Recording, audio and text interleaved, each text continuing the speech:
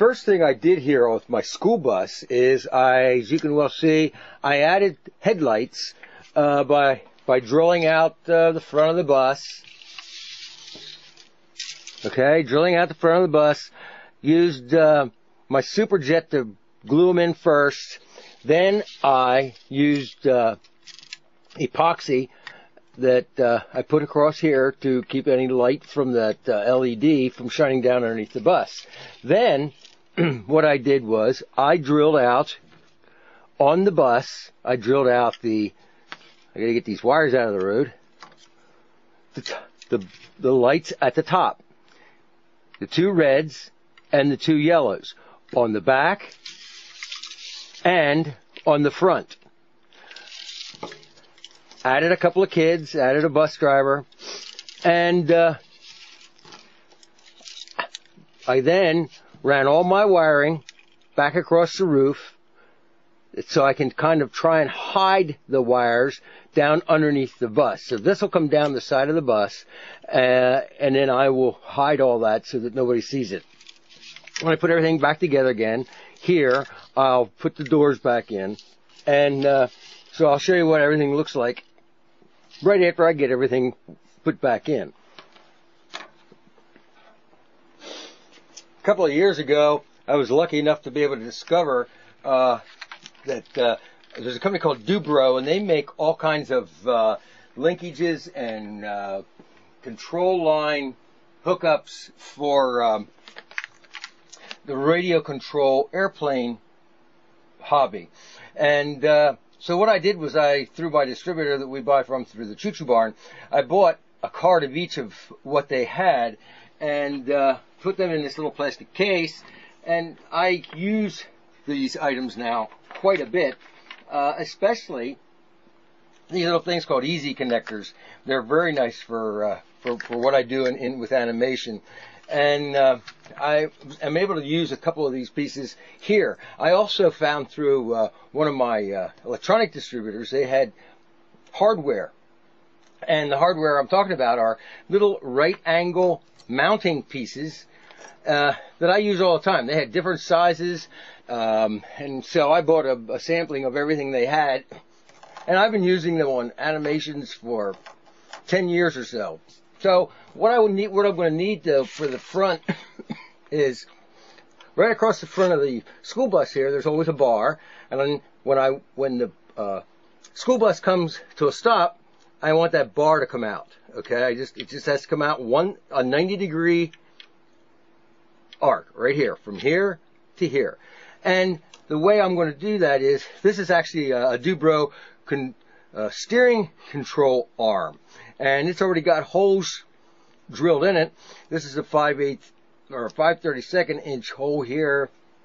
So what I did was I first cut some 532nd brass piece, put it in my little uh, Unimat lathe, and you can, if you don't have one, you can always buy one on eBay. I'm sure. I can't imagine anybody doesn't have hobby lathes for sale used. I was able to buy one from a from a gentleman who upgraded and uh, didn't pay much for it, and I've used it I even used it uh, a number of years ago to make little baseball bats.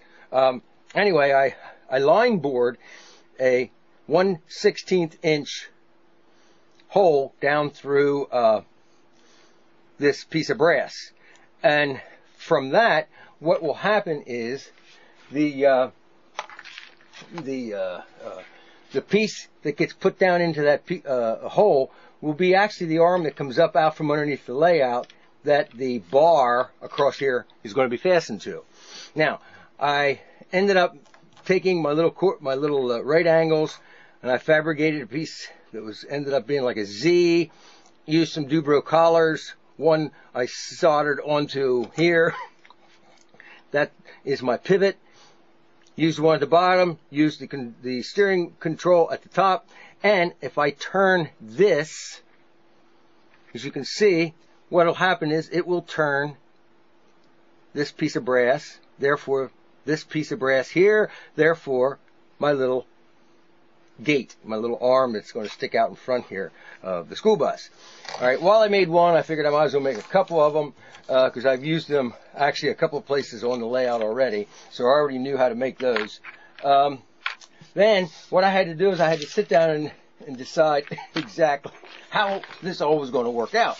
And uh, sat down, used my geometry grant again, and figured out that uh, uh, to to make this all work, this is what I needed to do. Um, what I decided to do is use a, a Circuitron Tortoise slow motion uh, switch machine. And the way these work is, if you give them positive, negative one way and hold it, this little arm goes one way. If you reverse that polarity, the arm going to come back and it'll hold that way. And it uh, it will work real nice, nice and slow. And what I ended up doing is putting a, a little extension. I don't know if you can see my little extension here. Use some more of the uh, the Dubro pieces here. There's a there's a ball link, piece of threaded rod, and then that gets hooked up over here. Henceforth, through the layout, this will get all screwed to the bottom of the layout. My little uh, it's 1 16th inch piece of brass rod over here with the arm going across. This will get brought up under the layout. This will be put right here in front of the school bus and it's going to work. Now, I also then said, I, I you know, sat down and said, okay, now to make this all work automatically, what do I got to do? So I sat down, I made up a schematic diagram, electronic schematic diagram using a couple relays and, uh, one of my little flasher units, uh, some relays here, uh, the and put everything on the board. So all I got to do is hook up some wires here, give me some power, hook up my LEDs over here, so that when the school bus is sitting, it's just doing nothing. All of a sudden, the yellow lights will flash, which are the two inside ones. Then the red lights flash, the yellow ones go off, and as the red lights start to flash, the bar comes out. And that's how exactly how a school bus actually works. Then after the kids finally get on the bus, the bar start comes back. When the bar comes back, then the red lights will go off and it'll sit and wait for a little while. I found a really slow, slow RPM motor to run all this, and uh, that's what my next thing is now is to get that little drum, my little drum working, and uh, I'll show you how that works out. Okay, here's the school bus. Uh, you're gonna have to excuse all the wires that are down in here. Um, obviously, they're going to go down through the display, down underneath to all the electronics that are actually on a board that is uh, down right now. I have it actually down here. It's actually clamped down below here, and hooked to that is my little bar that goes across the front of the bus. Um, on here on the left side, which will also be uh, under the display, is my little, what I want to call my drum unit, which works on the same principle as the fire scene at the Choo Choo Barn with, uh, these, this is rotating and it's going to hit these little micro, these little micro switches. So it's coming up here very soon. So I want you to see what's going to happen. There you can see the yellow light start to light and shortly thereafter the red lights start to flash and the bar goes across in front.